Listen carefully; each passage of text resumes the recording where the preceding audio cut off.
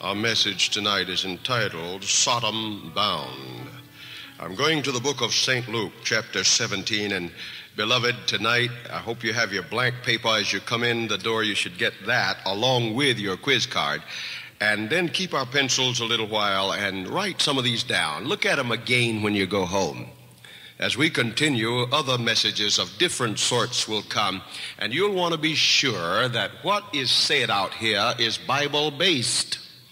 And I've challenged audiences all over the world. If I tell you and it's not in the Bible, I'm a liar. You're not required to believe Charles D. Brooks, but you ought to believe God. So it's a good habit to not just listen, but go home and check. Make sure that preacher's telling you the truth and that his comments are backed up by the Word of God.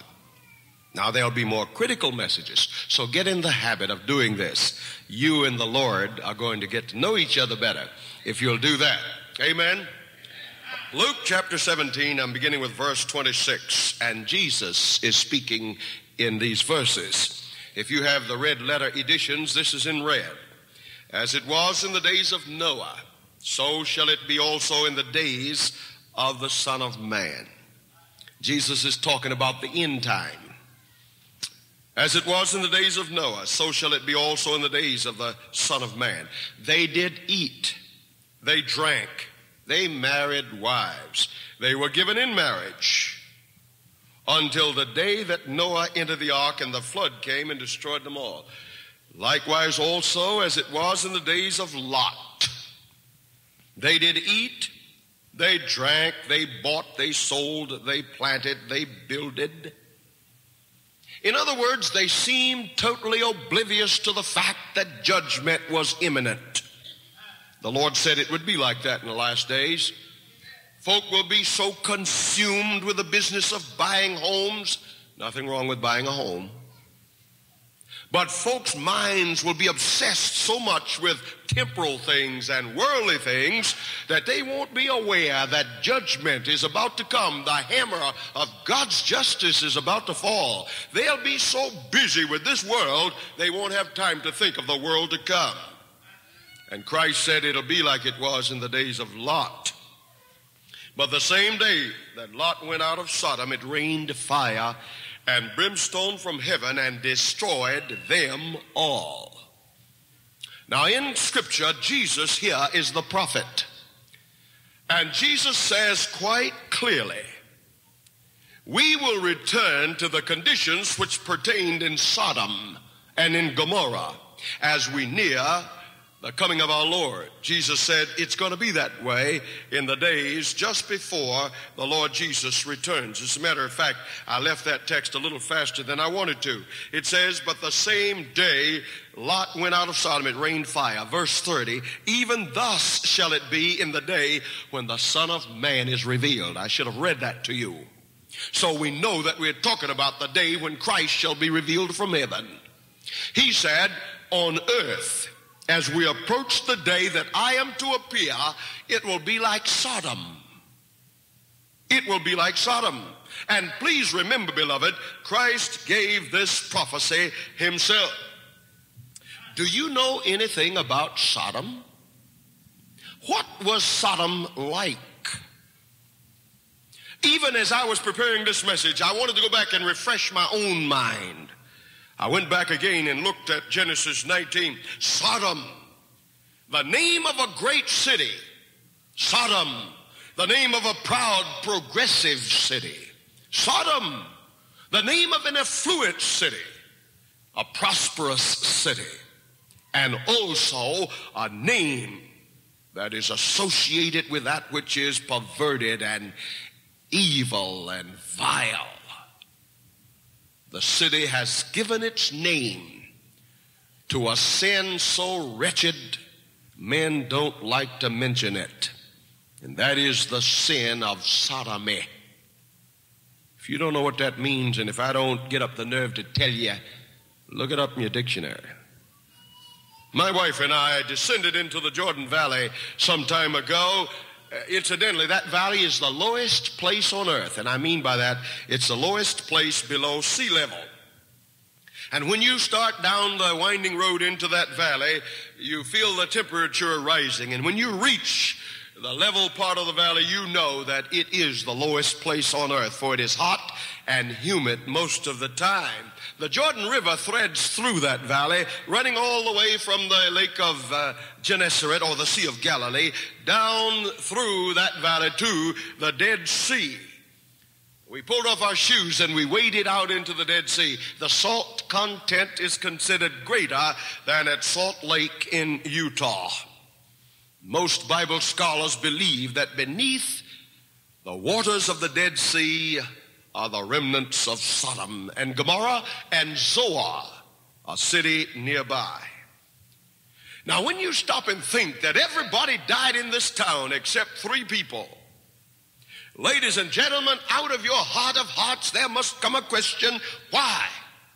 And you must say, your sense of justice must declare, there's got to be some justification for an act so terrible, even from God.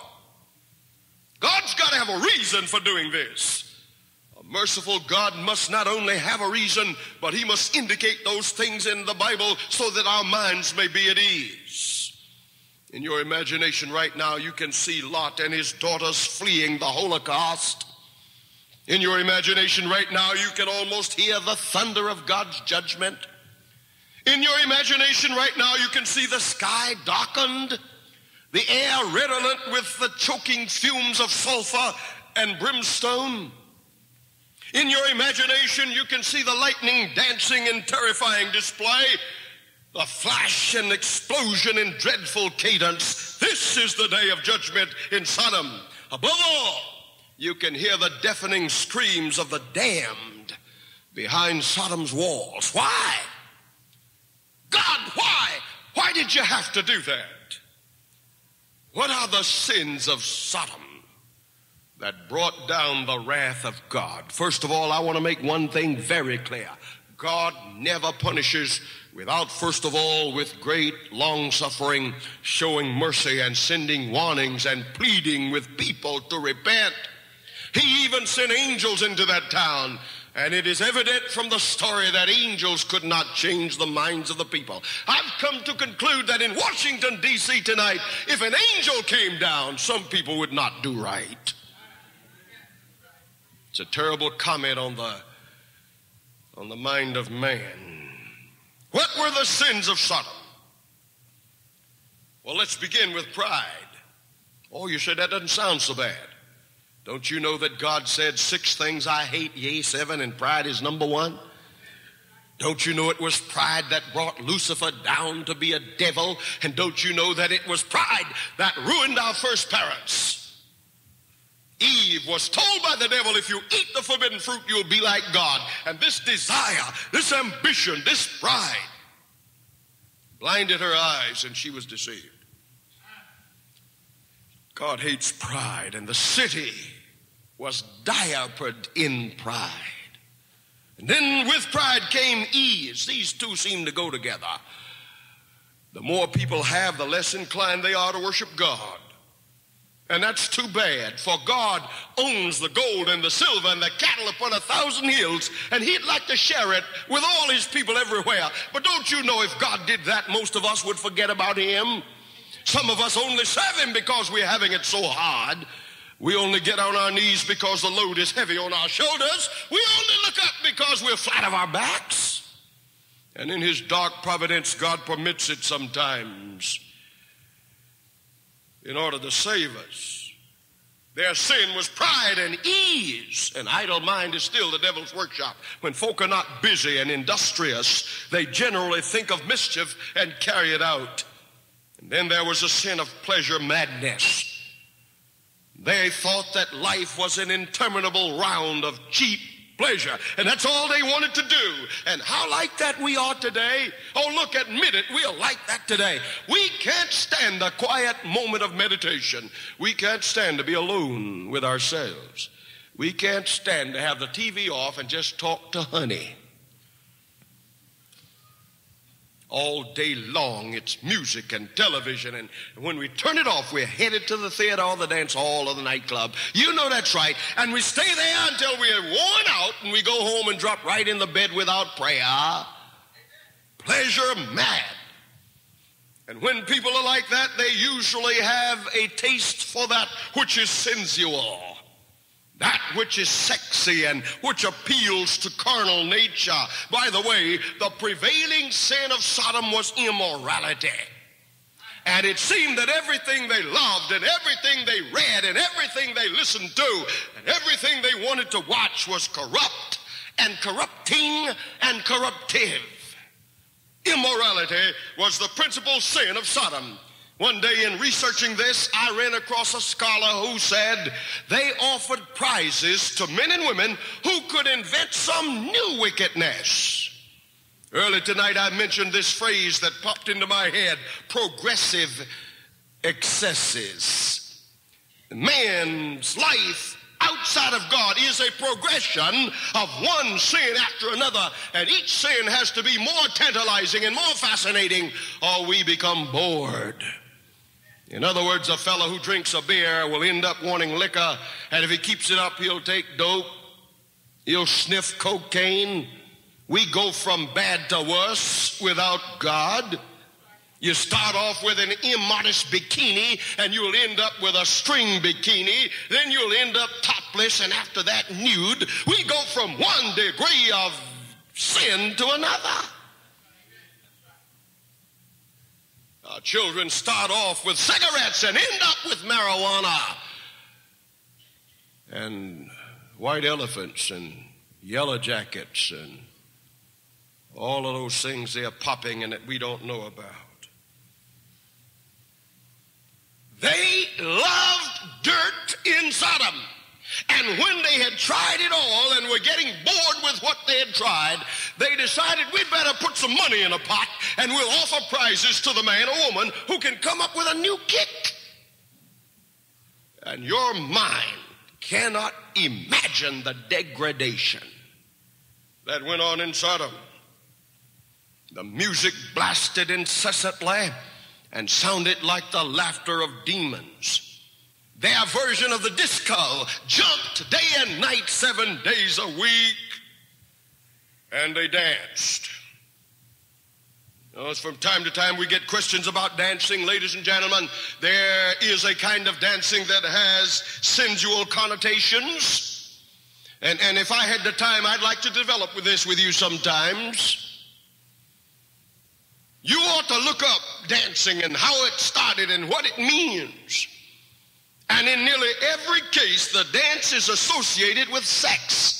The gyrating of the hips and all the other things that go on are sensual. They are intended to be that way. No need kidding ourselves with some kind of pitiful na- naivety. It is sensual and it appeals to the flesh. And most of the dances today are just plain vulgar and immoral. Unrestrained vice, concupiscence, lasciviousness. There's a good word. I heard Dr. Wesley, who spoke to you tonight, say one day he looked this word up and it refers to old men who like young girls. And most of them can't get young girls, so they go to peep shows. That's lasciviousness. They're too old to do anything, so they watch. And you can hardly walk up and down the streets of Washington anymore without seeing the adult bookstores and the peep shows. Huh? Sodom! In addition to that, the people of Sodom were defiant.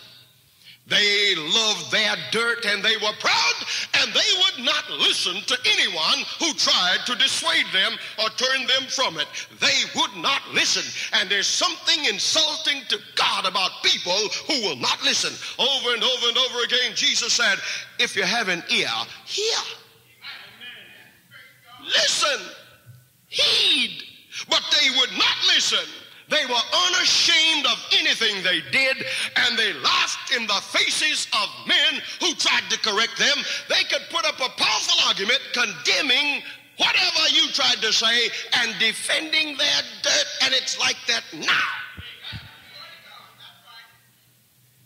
One day on Donahue, a talk show, they had this group advocating gay rights. And whenever they spoke, they are filth and blasphemous. The people applauded. And when someone said, but I don't think that's right, they groaned.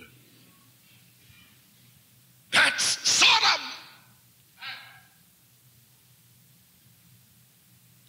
And then there was violence. I'm telling you about Sodom tonight, and you think I'm telling you about Washington. Well, I am. Jesus said, as it was in the days of Lot, so shall it be in the days when the Son of Man is revealed. Christ is about to come back here, and we are seeing Sodom in D.C. And you can see it in New York, you can see it in Baltimore, you can see it in these little small towns like Alexandria and Arlington and Laurel, Maryland. Sodom. And there was violence. Life was cheap. When people are caught up in pleasure, they don't want to work. And when folk don't want to work, they still don't lose their appetite for material possessions. So if you don't work and get your money, the only other way is to steal and take it. And they would knock you in the head for a dime. They'll do it in Washington, D.C. You go out and work hard and earn your money through the sweat of your brow, and these fellas think they've got a right to put a gun in your ribs and take it away. It is their profession. It's the only thing they can do. Some were interviewed on television once in a documentary, and they said, but there are jobs available. And one said, how much do you make? And he said, you can make a $100 a week. He said, I can make more that, than that in an hour stealing. Sodom, you see, Sodom's in the mind and violence stalked the streets. They hated those who sounded warnings, those who offered restraints, violence. They turned against those who were good. Oh, ladies and gentlemen, we are there. Did you hear what I said? We are there. When I began to preach 28 years ago, I used to read that text that I began with tonight, and I honestly believed it. Now, I can I tell the truth. I believed it. I don't preach anything I don't believe. I might not always understand it, but I believe it if God says it. So I believed it. But I was living in a period of, uh, characterized by Victorian ideals. They had a, an office in Hollywood that controlled the morals of the movies to some extent.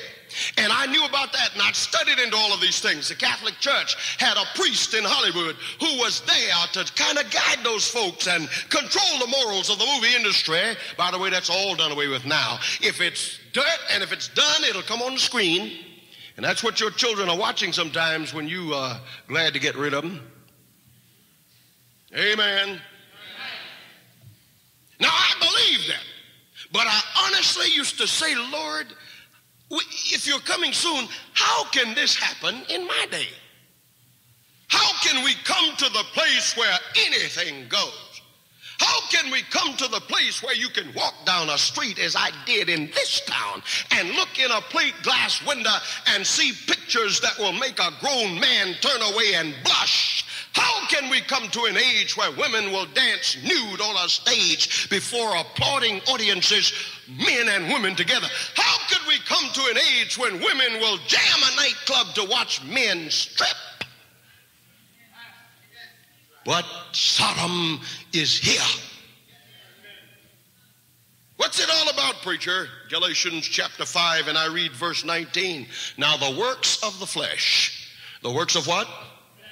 The works of the flesh are manifest, which are these. And then it lists them adultery, that's the work of the flesh. Fornication, that's moral uncleanness, which includes adultery and homosexuality. It includes not only the act, but the love of it. Going to places where you see it performed. You understand, I'm, we've got some children here. Now, the works of the flesh are these adultery, fornication, uncleanness, lasciviousness, there's that word again, idolatry, witchcraft, hatred, variance, emulations, wrath, strife, seditions, envyings, murders, drunkenness, revelings. What's that? Reveling is partying and dancing. That's what it means. And God says that's the work of the flesh and such like, of which I told you before. I told you in time past that they which do such things shall not inherit, shall not inherit the kingdom of God, shall not inherit the kingdom of God. Do you believe the word of God? If you do, say amen. Now, ladies and gentlemen, I didn't write that. God said folks involved in that not only doing it, but watching it done on the silver screen and paying to get into these adult clubs. They shall not inherit the kingdom of heaven. Now, don't misunderstand me. I don't have any illusion or idea that Pastor Brooks is going to change Washington. Majority of the people don't even want to hear the word of the Lord. I know that. But somebody does. You see, God said to me, you go and preach as a witness. You don't have to make anybody do it. You just tell them somebody is going to do right. Somebody here tonight wants to serve God. I know that. Am I right? Somebody here tonight only wants to know what the Lord wants done, and then they will say, Lord, thy will be done. Somebody here tonight wants to please Jesus. God sent me to talk to you. You read on, it tells you what the fruits of the Spirit are they're love, joy, peace, and so forth. There is today in our country a fear, a, a timid uh, fear, this trepidation men have, even who are called to preach, scared to tell the people the truth. Now, ladies and gentlemen, by the grace of God, I don't want to insult anybody. I don't want to be misunderstood. I don't want to be hard and overbearing. And I'll tell you right now, I don't preach as someone who's already overcome way up in the air. I'm down here in this mess with you. Every day I have to pray to overcome. Every day I beg for power to live for God. So I'm not talking to you as one who's way up yonder. I'm down here. But as surely as God called me to preach, I've got to tell you the truth or die. And if I couldn't do that, I'd give it up. And I mean that with every ounce of my being. I didn't want to be a preacher anyhow. And I told God that when He called me. And I said, No, I'll do it. But I want something to preach and I want a message. I'm not going to be namby pamby. I want to know what the truth is and I want you to tell me how to say it. And may my tongue cleave to the roof of my mouth if I don't do it. There are some things, as the Latin puts it, that are malum in se, evil in themselves, and they will never be right.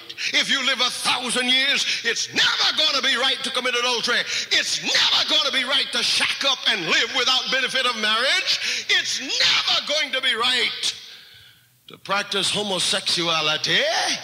I don't care what the doctor says or the psychiatrist. I don't care what the weak preacher says. It is wrong.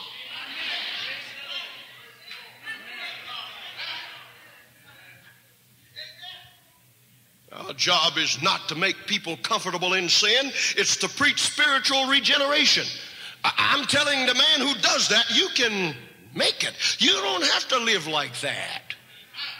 And I'm saying to you, if you've done the worst thing I've mentioned tonight, the same God that saved me can save you. And He's going to save prostitutes. He's going to save drunkards. He's going to save dope addicts. Bless God, there are going to be some homosexuals in heaven. But all of them will have overcome by the blood of the Lamb. Not going up there doing it. Not on your life, beloved. I'm not trying then to accommodate carnal desire.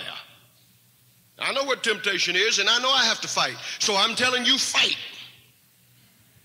Don't make your excuse, well, I couldn't have it. Yes, you can. If you can't, there's somebody who can. If you're weak, there's somebody who's strong. and that somebody cares about you. Now, consider Sodom in that brief picture I've given you, and now consider our day and be honest. We have come to a time there's hardly anywhere to go for entertainment. It is all tainted and corrupted with flesh. There is a word, I won't say a lot about it. It's pornography. You know what it means. Have you ever, ever dreamed it would be so? Nothing is left to the imagination. Sodom is here. Consider the music that we listen to with its pagan beat that mesmerizes and, and, and hypnotizes. Don't you know that psychiatrists have proven they can take a steady rhythm and hypnotize people and make them do anything they want them to do? And that's what the music is doing. People under its control are under the spirit of demons. And they call it music. Have you ever listened to the words? The popular music of today extols and promotes fornication. The most popular disco singer was in a church choir, and this bugs me so much. So many of them who do it for money started out singing gospel. And, and, and, we've come to a time when gospel is perverted, and you don't even know what you're listening to. And she is called the Queen of Lust. Ebony Magazine, a few weeks, months back. The Queen of Lust. Let me start all over. If you listen to the words, you'll discover that the majority of today's music extols and promotes fornication, lust, marijuana, coke, lawlessness, disobedient to parents. I should have made a, a noun of that, disobedience. In the music and our children are throbbing with the beat, and parents say, I don't listen to that stuff. Maybe you ought to listen. Just long enough to know what to say to your children. We're there. Sodom, we're there. Stop and think about dress. Don't you know that we don't decide what the styles will be? That decision is made by a few drum beaters for profit. Are you listening to me? And a large number of them are themselves effeminates. And they know that if they can make the clothing clingy and revealing, it will appeal to the base passions of men and women. They know that in order to make more money, they must sell less clothing. A few years back, it was a miniskirt, and that thing went up till it became micro mini. Then it started down, and some of us said, Thank the Lord. Well, they've got it down now, but they've slit the rotten thing on both sides.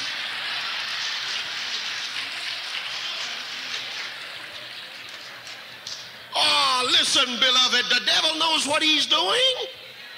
If he can keep a man's mind on a low level, that man is not going to pray. The devil knows what he's doing. It seems so innocuous. Well, remember, the devil is insidious and cunning. He doesn't come out and show his hand, he plays it secretly. He knows what he's doing. That's why we've got to have spiritual perception, or we won't know what he's doing. But I'm telling you tonight, he knows what he's doing. And when a woman will go in and buy certain of these garments, she knows what she's doing.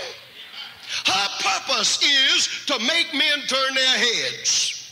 Good men who love their wives, even preachers in the pulpit, they know what they're doing. Sodom is here. And at the same time of this heavy emphasis on flesh, rape is up 98%. Men, sick men, mad men, driven by flesh driven by these carnal desires out of control. These men, driven by what they see in the movies and in the pictures they buy and in the stories and the jokes that they hear, are turning in their sickness against men and women, boys and girls. And rape is up almost 100% over a year ago. And the majority of those raped are between 9 and 17 years of age. And we are filled with rage when we hear of it, but we are promoting it. Men's carnal minds are inflamed. Sin is a mental disease, after all. And it still is true that anybody would rather serve the devil than serve the Lord is not clear. Anybody would rather go to hell than go to heaven is not raptite. It's as simple as that. A mental disease. Now, there are some powerful parallels in Scripture. Uh, uh, we are told that whatever happened to Israel happened for us as examples upon whom the ends of the world are come. One great writer has said, We are repeating the history of the Jews. So many things that happened to them are symbolic, representative of things that are happening to us. Now let's go back to that time when the Lord led Israel out of uh, Egypt toward the promised land. They had spent 40 years in the wilderness because of their unbelief.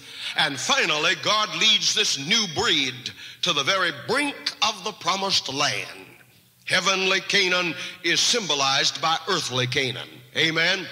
The old Negroes, even when they were slaves, understood this when they talked about crossing Jordan into the promised land. That's what they were talking about. It's a parallel, you see.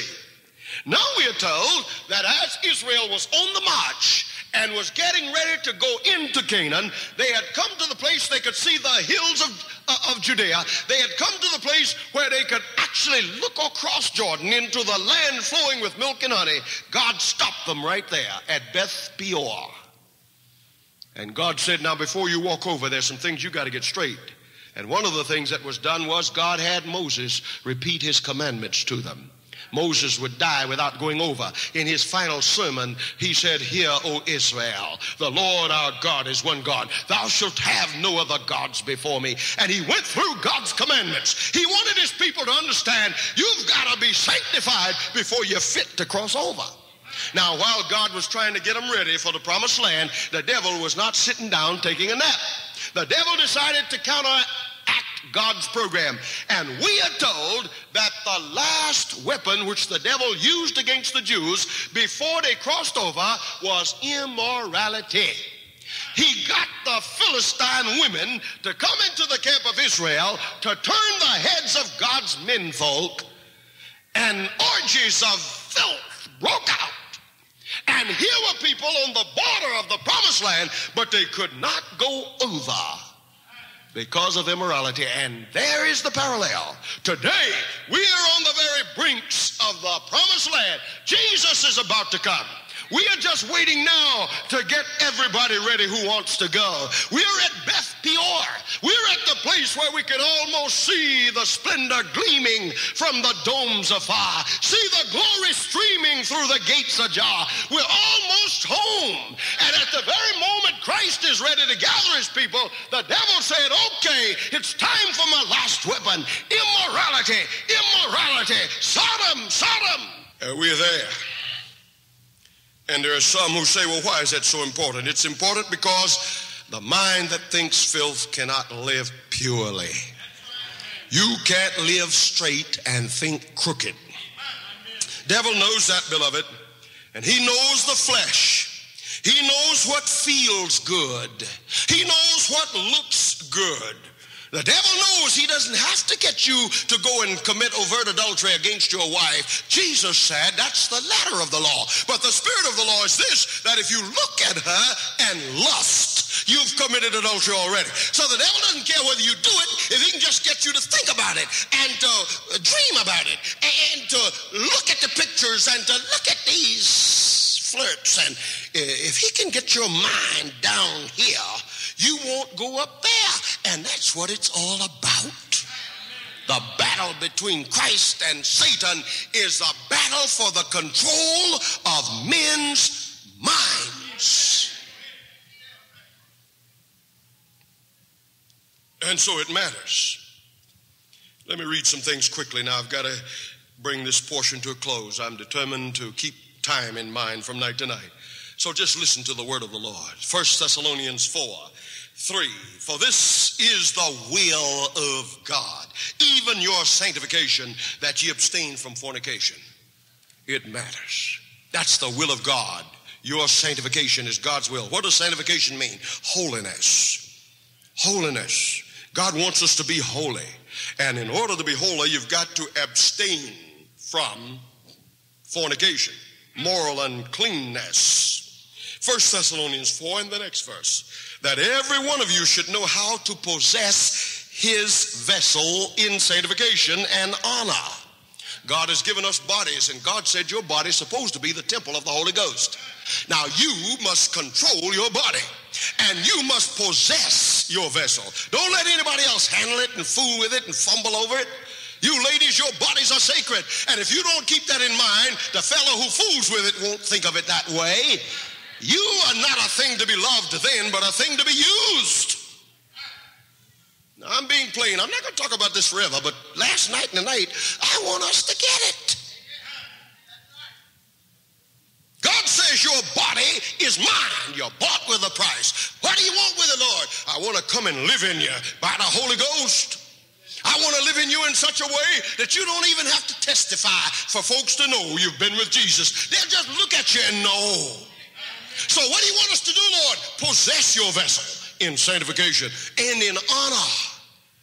The greatest damage to marriage today is caused by disrespect. It's not so much what others think of you, but what you think of yourself. And when you've been fooling around, no matter what others say, you know that you're not worth a dime. And it is this loss of self respect that is so fatal. Verse 5 of the same chapter says, Not in the lust of concupiscence, even as the Gentiles which know not God. Oh, but young people say, Pastor, what shall we do? We, we want to experience these things. I'll tell you what God said and what Paul said. He said, Get married. Better to marry than to burn. Well, Paul, what about marriage? He goes on to say in Hebrews 13 4, marriage is honorable. You see, God is not against sex. Thank the Lord. He's not against sex. God doesn't want you never to indulge sex. He wants you to be clean and pure until you're married. Then God said that same thing that is so defiling and debauching and dishonorable, that same thing which will reproach you and shame you and ruin you, that same thing in marriage is honorable. That's why the devil is against marriage. Do you hear what I said? And in case you don't know what Paul is talking about, he becomes very plain. He said, Marriage is honorable. By the way, if that's honorable, then this that you do without marriage is dishonorable. Amen. Now back to the text. Marriage is honorable, the bed undefiled. Amen. That's clear, isn't it? But he says, whoremongers and adulterers, God will judge. That's Hebrews 13 4. Now let's read some things very quickly. 1 Corinthians 6, 9 to 11. You ought to write that down. I don't have time to read it. 2 Timothy 2, 22, the Bible says, flee youthful lusts. Run from them. Flee them. Uh, you got to start here. In 1 uh, Corinthians 5, 9, Paul said, I wrote to you to uh, an epistle not to company with fornicators. 1 Corinthians 5, 9. Don't even go around with folks who are dirty. And don't go sit in an audience to watch it. Amen. How practical God is. Watch your ear. Watch what you hear. When you go and there's a stage, make sure that what you hear will not defile you and make you soiled. Then he said, Watch what you look at. Psalms 101 and verse 3, David said, I will set no evil thing before my eyes. That means that Larry Flynt's Hustler magazine and Hugh Hefner's Playboy, these things have no place in your hand, in your home, in your car, in your possession. Would you say amen out there? That's plain, ain't it? Bible says that. And nowadays we've talked about the ear and the eye. Don't touch. Hands off. You know, there are, there are gestures, and we black folks especially are gregarious and friendly, and we touch, we shake hands, we slap on the back. Isn't that right? And, and, and sometimes we hug, and eh, when it's done before 500 people, I don't think there's any evil in it. Hope not. But if you discover a weakness when that happens, then I got a rule for you. Don't touch anybody under eight or over 80 or anybody all in between. Touch not. Proverbs 23 33 says, Leave wine alone, or if you get drunk, your eyes will behold strange women. Amen. You got to take yourself in hand. Preacher, what are you saying? I'm saying what God says possess yourself, control yourself, take yourself in hand. You can't control everybody else, but you can control you. Amen. And I don't care if you're working on it, if you're weak, at least pray and work on this thing. You've got to say, eye, don't look. Ear, don't listen. Hand, don't touch. What's at stake? Your honor, your sanctification, your salvation. These things are at stake. I've got some things I wish I could read to you, but I don't have time to. I think I'm going to read this one. It's in the book of Proverbs, chapter 6, and I want you to listen. Proverbs chapter 6, and I'm going to read beginning with verse 23. Is that the one I want? Uh, no, that isn't the one I want.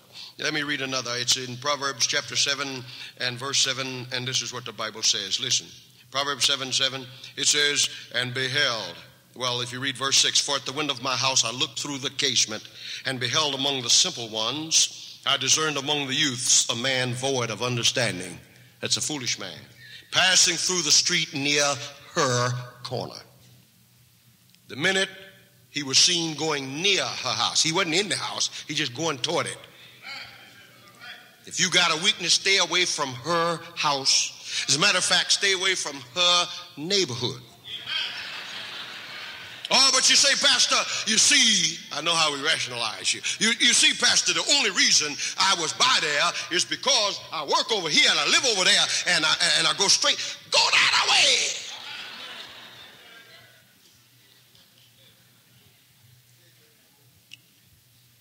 Wife doesn't want to hear excuses. You ought to read the rest of that. I won't take time to do it. Uh, Proverbs 6 and verse 12, the Bible says, listen, Proverbs 6 12, the Bible says these words uh, A naughty person, a wicked man walketh with a froward mouth, he winketh his eyes. He speaketh with his feet. He teacheth with his fingers. Frowardness is in his heart. He deviseth mischief continually. He soweth discord. Therefore shall his calamity come suddenly. You ladies, watch him. These handsome birds who look at you a certain way, always winking. Watch them. What are you doing? Possess yourself in honor. You belong to God. You're one of His children. Would you say amen out there? Be careful. Don't let this thing happen to you. Get all wrapped up in this mess and you won't be spiritual. There are certain moral incongruities. You can't get involved in this and love the Lord. You can't get involved in the filthy theater and enjoy prayer meeting. Simple as that. You can't read Playboy and enjoy reading the Bible. Jesus said, No man can serve two masters. You're going to love one and hate the other as surely as you're born into this world. There's another text I started to read to you, men. God warns in Proverbs, He said, Don't let her take you with her eyelids. You know how they flirt and blink. God said, Don't let that bother you. You'll come down to hell. Amen. In closing, just as the screen is coming down, there was a person who got out of Sodom. There was a person, I say, who got out of Sodom and yet died. There is a person who heard God's warning and responded to God's warning and actually got out of the city. A person almost saved. There is a person who was snatched out by the providence of God. Holy angels literally snatched her up, and with her husband and her daughters, she got outside of the doomed city, and in the mountains ahead was refuge. She almost made it.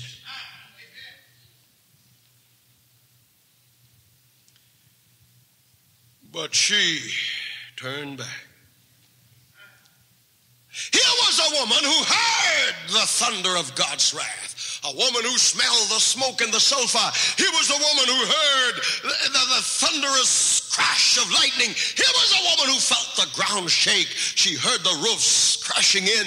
She heard the screaming of the damned. Here is a woman who saw where sin leads and knew its results, and she got out.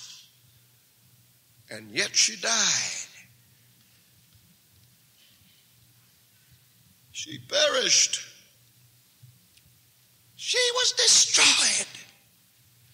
Her problem was that for some reason she had lingering in her heart a desire for the old paths of sin.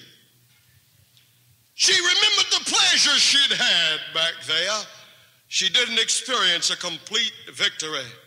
She was a little bit disgusted with the restraints of the spiritual life, as we are today. You find young people plunging headlong into dope and into sex and into ruin. But the minute you tell them to live right, oh, that's hard. Oh, it's incredible. It's incredible. And so tonight, I want to simply quote Jesus. In a verse all by itself in Luke 17, Jesus said, Remember Lot's wife. In researching this, I found something I never knew before. I found historical record that when that woman was turned to a pillar of salt, her body stood out in the wilderness, in the desert, as a memorial for over 2,000 years. Josephus, who lived at the time of Christ, said he saw her. So when Jesus said, Remember Lot's wife, he was talking to some people who had seen this salt statue wasting away in the wilderness. They knew what it meant. It is a warning found in Genesis 17 and in Luke 17 against loving this world more than we love God. It's a warning of the Old Testament. It's a warning of the New Testament. Remember Lot's wife. When you start out of Sodom, don't look back.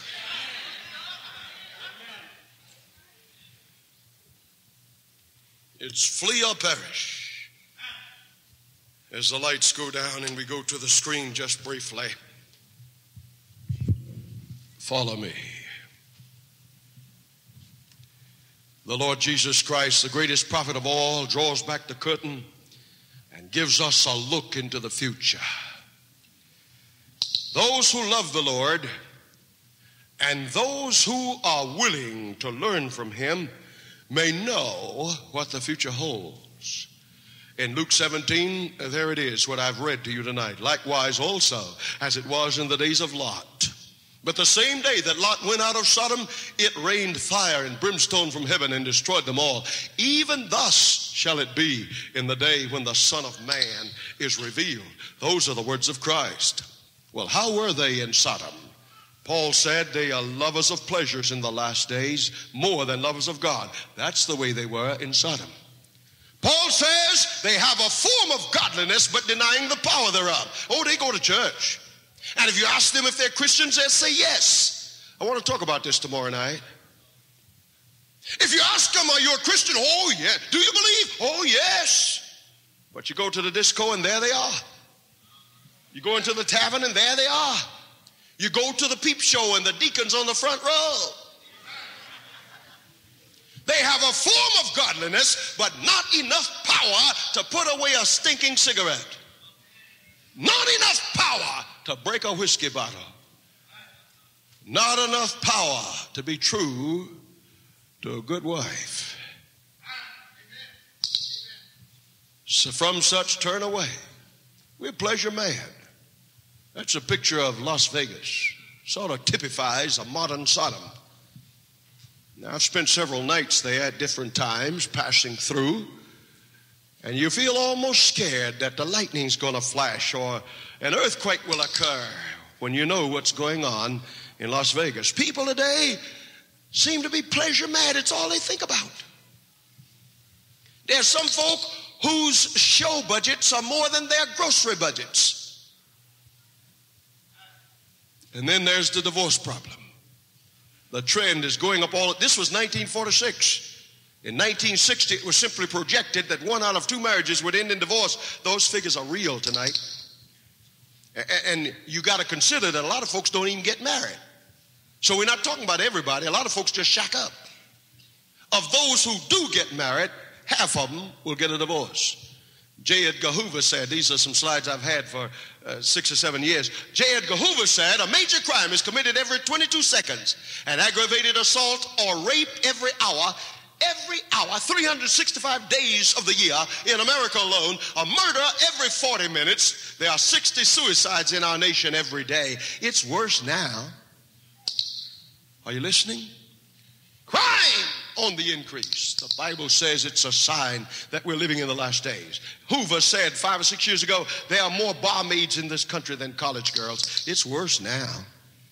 You get on an airplane and fly across this country, and these fine, bright girls who are airline stewardesses are glorified barmaids. They spend half their time trotting drinks up and down the aisle. And you know, I'm a fellow who always was blessed with a good appetite. And sometimes I've just worked awfully hard, run to the airport, drop in a seat, and I'm famished. I want to eat. Don't you know before you can eat, everybody else got a drink? And you sit there hungry as everything, waiting on liquor to be served. It's a shame, isn't it? and then you watch it in your living room. You don't even have to go out anymore to see it. Sodom is here, and people learn from what they see on television. You ought to be careful what your children watch. Amen. And then we get into all these vile habits of Sodom. Uh, you know, I, I, the CC man is back. You know what that means? Canadian Club. That's a liquor. And when they make these ads, they always get nice looking young people. And they want you to think you're going to look like that if you drink. Well, I ought to, I got, you know, uh, Bob Willis and I, we have pictures of folk who are drunk. We ought to bring those and show you how folks really look. Liquor makes a, a gentleman a bum and turns a lady into a tramp. Yeah, that's what was in Ebony magazine. Look at that picture. You know, they paid hundreds of thousands of dollars just to get that picture in Ebony magazine. Look at it. It makes you think you haven't lived. Until you do that, and all the while our youth are being dissipated and debauched, marijuana and dope, lives ruined forever. Ladies and gentlemen, the streets are full of immoral nitwits tonight. Drugs have blown their minds. acid and certain other kinds of drugs can destroy the brain and turn it to jelly and take away character and take away moral inhibitions. Sodom is here. Sodom is here. And folks who ought to know better are refusing to take a stand. They're walking the fence. They want to be Christians and sinners at the same time. You're not going to heaven like that. There is a way that seemeth right unto a man, but the ends thereof are the ways of what? Beloved, those are not Brooks's words, but the words of the Lord. Tonight, Christ and the devil are in a controversy for the control of your mind. Jesus won't make you do right. The devil can't make you do wrong. You must decide. My uncle, who is a great preacher, put it this way. He said, It's like an election. Three votes cast. The devil votes against you. Jesus votes for you. That's a tie. Now, the man who breaks the tie is you. If you cast your vote with the devil, you've lost. If you cast your vote with the Lord, you make your peace calling and election sure. Would you say amen, beloved? Now, now the thing is this whether you decide with him or not, you're going to stand before the judgment bar for yourself. Rapping can't stand for you. Mother and father can't do it. The Bible says the Lord will bring you into judgment to give account of every deed done in your body. And after the judgment, the day of the Lord will come as a thief in the night, in which the heavens shall pass away with a great noise, and the elements shall melt with fervent heat. The earth also and the works that are therein shall be what? Do you believe the word of God? If you do, say amen, beloved. The Bible says it's coming. Jesus is going to stand up from between God and man, cast off his mediatorial garments, and he's going to declare that awful decree it is done. Probation is over. Salvation is consummated, it is done. And the Bible says, The soul that sinneth, it shall what?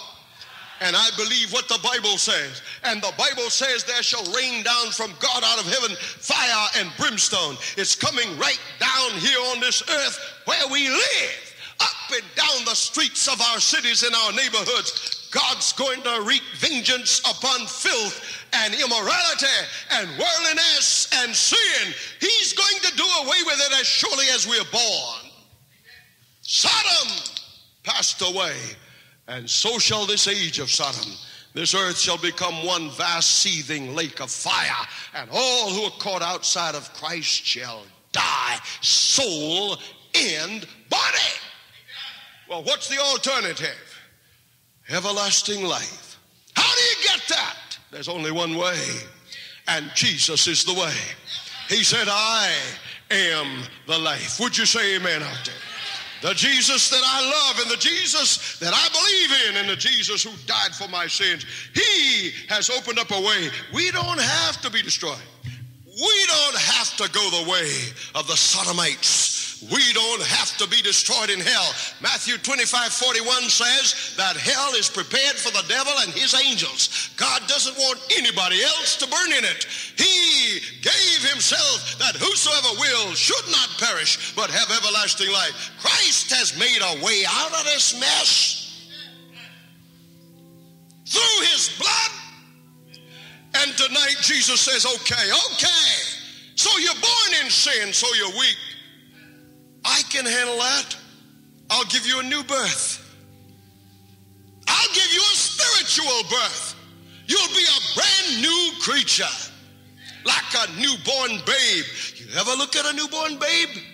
A newborn babe has new hands, new eyes, new ears, a new mouth, new nose, new feet. Christ said this spiritual birth will do that for you. Even though you might be 70 years old, I'll give you new eyes. You won't go looking after the evil you once saw.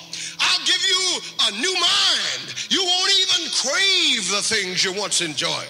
I'll help you to hate what you once loved and love what you once hated.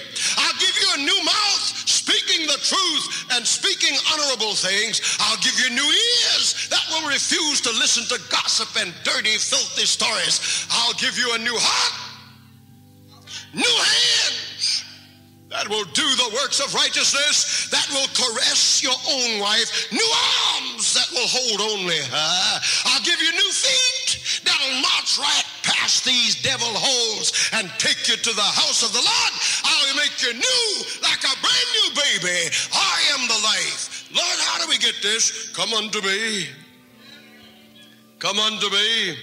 Oh, but Lord, it seems so hard. My yoke is easy and my burden is light. Come unto me. But Lord, why is it I don't seem to want to do it? It's because you are carnal. Once you are spiritual, you will delight to do my will. I'll write my law in your heart. Would you say amen? This is what Christ can do. This is what Christ promises. Ladies and gentlemen, tonight, all the things that we preach and believe, you can't just decide I'm going to do it. You got to start with Jesus. He is the only one who can change your natural way. He is the only one who can turn you around. He is the only one who can make you what you ought to be and what you want to be. He's the only one can give you the victory. I know what I'm talking about. You can go hither and yon. You can pay your money. You can consult your doctor and your psychiatrist. They can't help you. There's nobody on earth except one. But thank God there's one. The blessed, blessed Jesus. He's the one. He's the one. And tonight he cares. I know what I'm talking about. I know what I'm talking about. He cares. Look, I ought not tell you this, but last night we had a problem going home and had to be towed. And, and my dear wife, who rises early, we didn't get home until one o'clock this morning. But you know what? We went home rejoicing. Because when we had that problem, and there's nothing I could do about it, there wasn't even a house nearby that I could make a phone call. And I said to my wife, we got a problem. And I said, let us pray. And we bowed our heads and prayed. And I want to tell you something. Listen to me. That the cars were passing by. Nobody was concerned. We offered prayer and asked God to help us. And in two minutes, I looked and here comes a tow truck.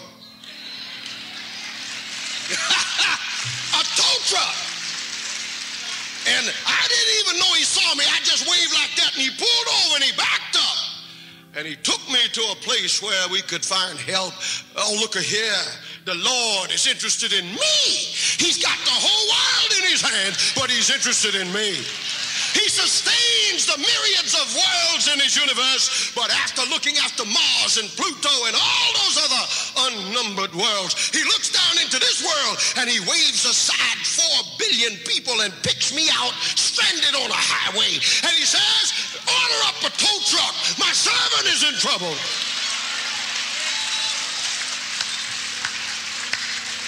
That Jesus is interested in you, desperate to save you. And tonight, all we need is Christ. Oh, beloved, don't you want a better life? Don't you want to be a witness? Don't you want to be faithful? Don't you really want to overcome this old world? Don't you want to be a stalwart for Christ? If you do, would you stand and let's pray together? It's time to go home. And bless God for you. Oh, my Lord. Tonight I'm praying for these people that again you've placed on my heart. You've made me love them. And I'm praying for them because I love them. I want to thank you that you sent them out here tonight. I want to thank you that you didn't just send them and then send me, but you came by here. That you've spoken to our hearts and that the Holy Spirit has impressed us. There is no man alive who can bring conviction and conversion to a human heart. That's the work of the Holy Ghost. We thank you, Lord, for caring about us. Tonight, tonight, we respond to this message by saying, Lord, we want to be what you would have us to be. We want you to fix us now. Get us ready for that grand and awful day when you shall appear and come riding down the skies in flaming fire to gather your people home. Fix us, Lord. Whatever it takes, fix us. Turn us around and straighten us up and clean us up. Fix us. Because the end is coming soon. And with all our hearts, we want to be saved. Bless us as we go now. Help us to think on these things and make us impatient to get back here tomorrow night. Not because Brooks is going to be here, but because Jesus is going to be here. Want to come and sit in your presence? We want to feel your touch. there is someone who cares when evil gets out of hand. There is someone who cares when vice corrupts this land. There is someone who cares. He'll give you grace to stand. That someone who cares is Jesus.